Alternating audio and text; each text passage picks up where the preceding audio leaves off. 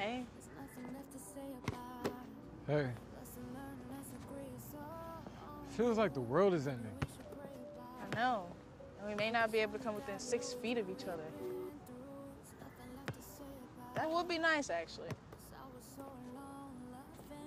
You a fool. So you okay? Me? I want to know if you're okay. I uh, talked to another teammate yesterday. Turns out our asshole coach was messing with her too. Are you serious? Yeah.